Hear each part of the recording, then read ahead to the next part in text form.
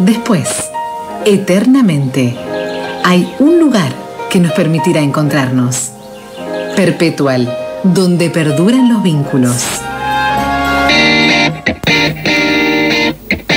Bueno, vamos a meternos en la política nacional en este caso porque se viene el debate por el presupuesto 2023, recordando que el presupuesto anterior no fue aprobado se lo voltearon, vamos a decirlo así, al gobierno nacional, eh, con lo cual tuvo que manejarse con, los números anteriores eh, o, bueno, no, no, tener un programa o un plan, que porque es la ley de leyes, más claro en virtud de ese rechazo en el Congreso. ¿Qué va a pasar? En las próximas semanas y cómo está la actualidad política, lo vamos a charlar con la diputada del radicalismo, Juntos por el Cambio, por supuesto, Soledad Carrizo, que está en línea con nosotros. Guillermo y Florencia de Río Cuarto la saludan, diputada, ¿cómo le va?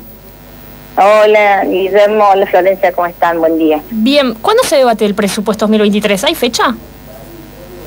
Sí, sí, el, el presupuesto, bueno, fue iniciado hace dos semanas por el ministro Sergio Massa, que lo presentó en una, una sesión frente a las comisiones y los, diputados que, querían asistir eh, durante tres horas, luego siguieron los funcionarios y hasta el día de hoy continúan hasta ayer, continuaron los distintos ministros y secretarios, eh, directores de empresas, eh, dando informes y continúa mañana que comienza en sí el debate ya propiamente de los diputados de la Comisión de Presupuesto y Hacienda para eh, dictaminar eh, en la semana que viene, seguramente, y eh, según la hoja de ruta trazada por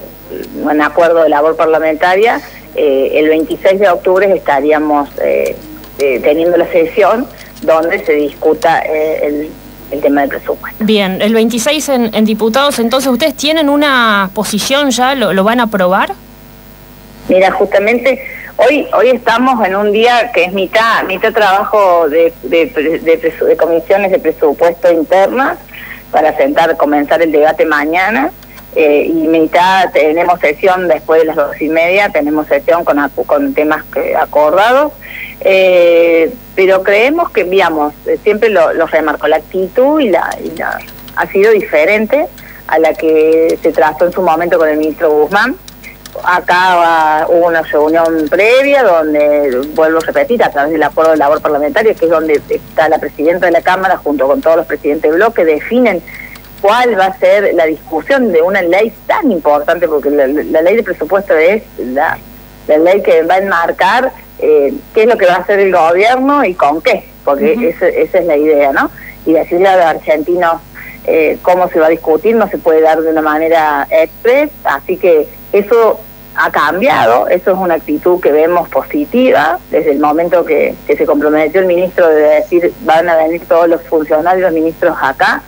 eh, independientemente de que si nosotros estamos de acuerdo o no con algunas cuestiones que como lo primero que nos hace ruido y que nos sigue haciendo ruido es cómo vamos a lograr una, inflación del 60% pronosticada cuando estamos partiendo una inflación que creo va a llegar a, tres dígitos a fin de, a fin de año eh, como también otras cuestiones que analizando en, articulado por articulado claramente son eh, no no tienen sustento no tienen coherencia como la materia energética el tema de, también garantizar con los fondos de, los gobiernos eh, digamos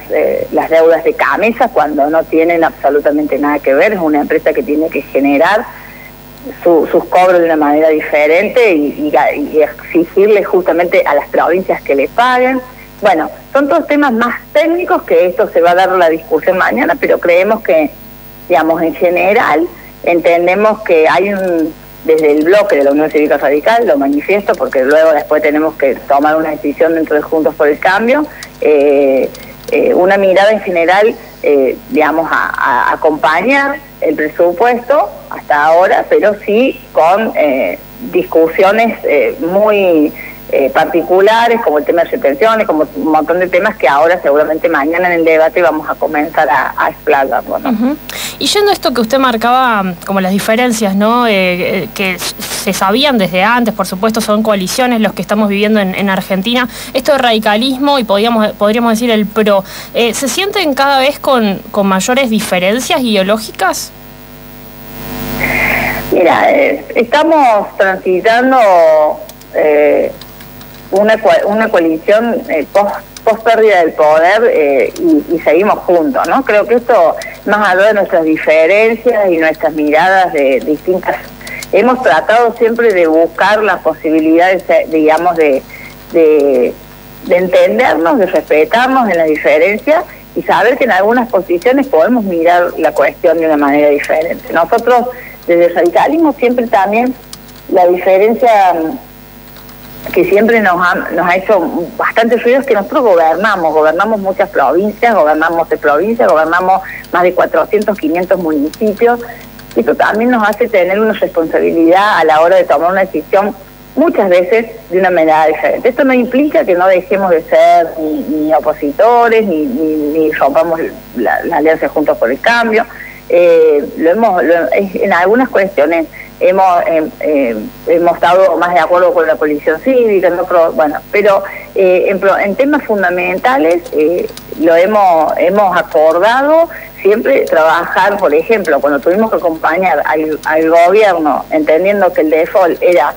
peor que, que, que, firmar el acuerdo con el Fondo Monetario, ahí se tomó una decisión política junto con la mesa de Juntos por el Cambio, hay discusiones que anteriormente quizás no se tenían y que esto ha sido el crecimiento y, la posibilidad de seguir de, fortalecer este espacio juntos, ¿no? Porque somos somos diferentes, venimos de,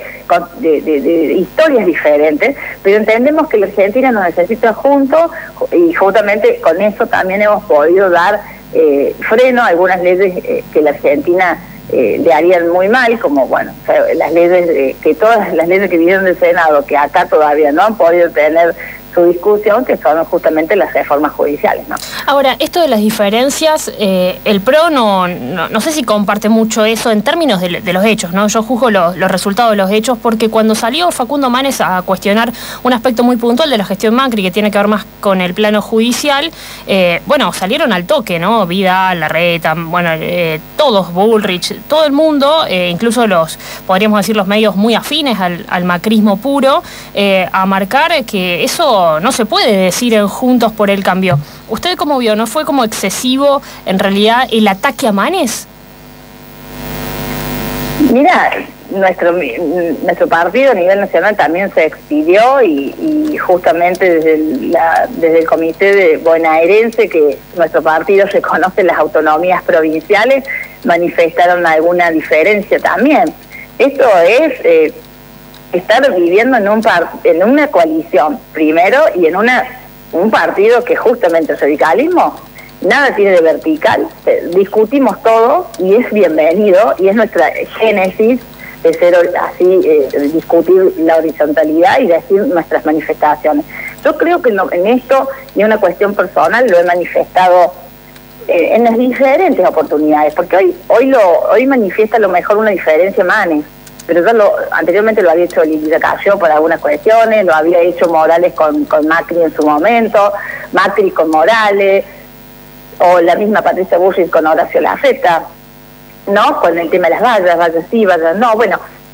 esta, esta diversidad eh, siempre eh, en lo personal, se los he manifestado a, cada uno de los que lo han, lo, que lo han dicho, eh, y dentro de nuestro bloque, siempre entiendo que debe ser eh, puertas hacia adentro, eh, porque, a ver, la Argentina está pasando una situación sumamente compleja para que nosotros por ahí le estemos dando al espectador una, una cuestión de una mirada diferente, pero que le transmitimos también inseguridad de que creemos que nos vamos a pelear. Porque nosotros sabemos que esto no va, que la unidad no está en juego, que la unidad no se negocia, eh, pero el que nos mira por atrás, digamos, a decir, miren, eh, ustedes están peleando en, público. Entonces, la verdad que creo que no nos hace bien, que creo que las diferencias siempre se tienen que manifestar en la, mesa donde tenemos esa, este espacio de debate y que, con nuestras diferencias, con nuestras formas, hemos sabido llevarlo, ya vamos a, estar, ya estamos preparándonos para hacer la alternancia que la Argentina está necesitando a través de, las pasos y, vamos a dividir seguramente las diferencias y de ahí en más eh, eh, entender que hoy la Argentina necesita que justamente la diversidad que somos la pongamos en acción para, para que la Argentina salga salir adelante definitivamente del estancamiento que hoy está y de, y realmente el desgobierno que hay, porque nosotros hablamos de nuestras diferencias, o, lo podemos pero lo más preocupante es ver la diferencia que tiene la coalición de gobierno, que es la que tiene que conducir el país. Hoy está paralizadísimo por problemas internos, puja interna. Los cambios de gabinete, los cambios de, de ministro han sido por problemas de las distintas alas de la coalición que no lo dejan gobernar al presidente y que el presidente evidentemente ha perdido, es un presidente en soledad que ha perdido todo tipo de poder. Sí. Ahora, eh, y por último, eh, uno lo, lo pregunta también, como usted mencionaba, porque Juntos por el Cambio tiene grandes chances de volver al poder, de, más que poder, de volver a conducir los destinos de la Argentina. Entonces, para conocer también, en este caso, puntualmente, usted, la diputada Soledad Carrizo, ¿qué opina respecto a, eh, bueno, eh, cómo se trató lo judicial durante la gestión anterior para saber si apoya eso, eh, en, un eventual futuro gobierno? Digo, ¿hubo mesa judicial esto que planteó Manes? Mira, a mí no me consta, yo no tuve yo no estuve en el gobierno de Macri, yo fui simplemente una legisladora de una coalición de parlamentaria, porque esta es la realidad, no hubo una coalición de gobierno, una, es más, desde que fuimos a Gualeguaychú, eh, fuimos a Las Pasos, perdimos y el que gobernó fue justamente Mauricio Macri, que representaba el PRO. Es más, ni siquiera los ministros que tenía el radicalismo salieron de un acuerdo programático como sí debemos darnos ahora la discusión. Eh, la verdad que no, a mí no me consta de que haga ningún tipo de mesa judicial y seguramente si asevera alguna alguna aseveración, algún eh, conocimiento, bueno, la, justicia es el, camino a, seguir, pero creo que eh, no puedo, sería muy irresponsable de mi parte eh, emitir, no puedo emitir un juicio de valoración en cuanto a la gestión, y lo he hecho, y lo he hecho antes y durante, porque muchos ahora hablan cuando a Mauricio Macri no se le animaban a decir absolutamente nada, ¿no? Eh, y lo digo, tanto dentro de mi partido como dentro de la coalición. Entonces, eh, y, plantear las diferencias cuando hemos sido gobierno, cuando hemos, hemos manifestado la, la, relación que se tenía con las, provincias que se decían institucionales, pero puertas adentro apretaban a nuestros intendentes para que les llegara el ATN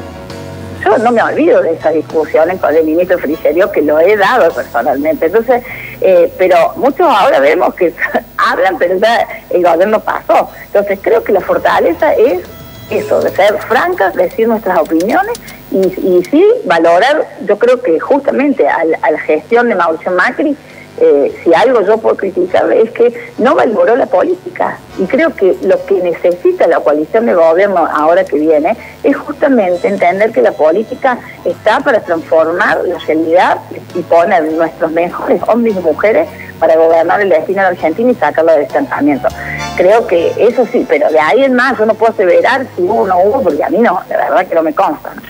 Perfecto, muchísimas gracias diputada por este tiempo, muy amable.